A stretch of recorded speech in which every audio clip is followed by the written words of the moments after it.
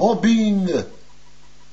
Wenn du schlechte Karten hast, wirst du gemobbt.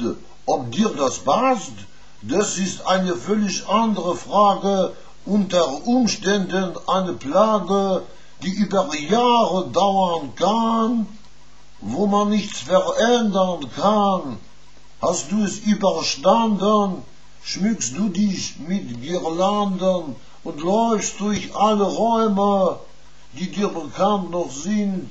Du denkst, mein Gott, ich träume, wie freundlich alle sind.